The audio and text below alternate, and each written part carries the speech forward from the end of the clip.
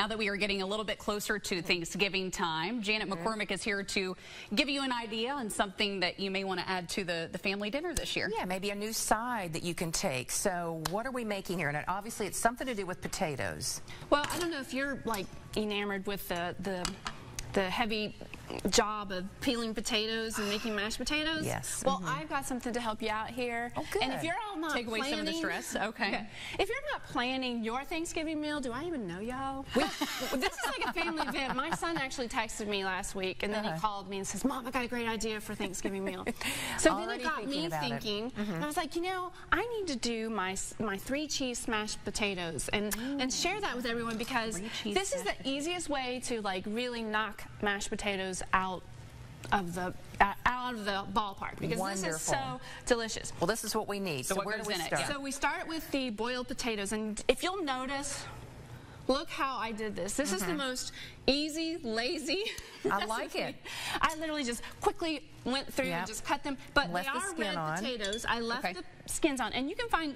Potatoes, red potatoes, all year round. Mm-hmm. The skins are delicate, and I swear you won't even really notice the, Okay. the skins. Then you smash those up? These are fork tender, which doesn't even take that long to boil. You put them in a pan of water, you boil it, fork tender, drain it, and normally they're really hot. But of course, Right, this is not down hot. out in our but I will say, even though this is not hot, you could actually make this a potato salad for an outdoor event. Oh, so you can do it. even Okay. if it's cold, Okay. it's still Yeah, gonna be you can do it delicious. either way. Okay. right, so I'm just gonna smash them. Arm workout. Another good art? Yeah. Yeah. Good, good And exercise. Also know that I just went ahead and seasoned these a little bit when I was boiling them with a little bit of garlic powder, a little bit of onion powder, just kind of to um, infiltrate some of that um, that flavor into the potatoes. Yes. And it's just kind of delicate. You're not going to taste them like overpowering in the potatoes. Okay. Do you see how I'm doing? It's okay that it's not completely smashed like, you know, Right. like mashed potatoes would be. This is my rustic potatoes. So now I'm going to put cream. About how much? So this is about. Uh, so you want to start. I think the recipe is. This is about two pounds. Okay. And I would put. I would start with a half a cup of cream. You can use. Um, this is heavy whipping cream. You can actually use half and half. You can Okay. use milk as well because I'm going to throw a lot of cheese in this. Right. So ever how you want to do that. Use whatever fine. you have. Yeah, mm-hmm. absolutely.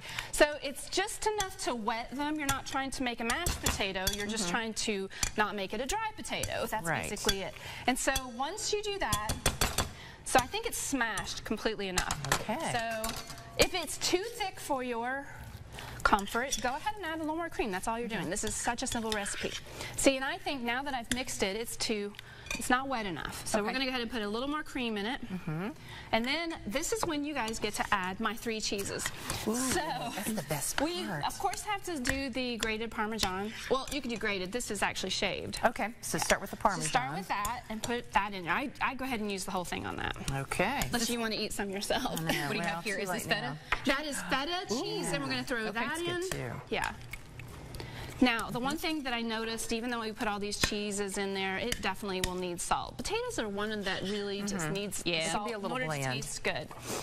And so at this point, I would be salting. I think I had to salt mine when I did this the other day. I had to keep mm-hmm. salting, keep salting. But um, But if you're on maybe a low so, uh, sodium Well, just- diet, don't either Yeah, put it in off. or just very little bit right, maybe? Right, Okay. just a little, just enough to where it, you know, it doesn't taste bland. Yeah. And now I have again cheddar cheese with a mixture of jack cheese as well. Does and all you of can it just go in? all of this doesn't go in. Oh, I was just in a hurry to get cheese on the menu here, so There you go. I'm just throwing it in. Grab it. Alrighty. You know, eat it, grab it, whatever you want to do.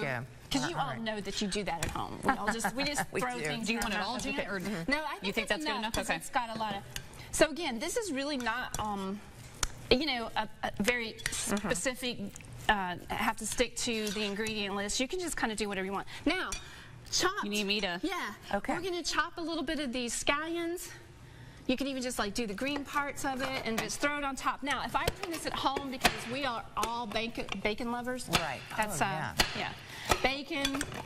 Uh, I would be throwing bacon in this to give it extra flavor. Red pepper flakes. You know, we like to make it a little hot. We just Right. this is like your little design make it however how you want to, whatever you're used to serving with your potatoes. Susan, you can throw this in there. And if you don't like a lot of...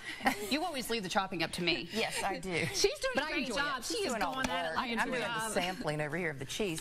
If you don't like a lot of onions, do you have to put that many in? You don't have to do anything. You can do like whatever you want. It's your painting, paint it, mm-hmm. or I'm sorry, your canvas or your Right. painting. You can paint any way you want to. So if you're not big on the onions, leave them out, or Yeah. just put one or two in. yeah, absolutely. Okay. And so we're just gonna like throw it on here. Oops. Oh, I didn't get him cut up.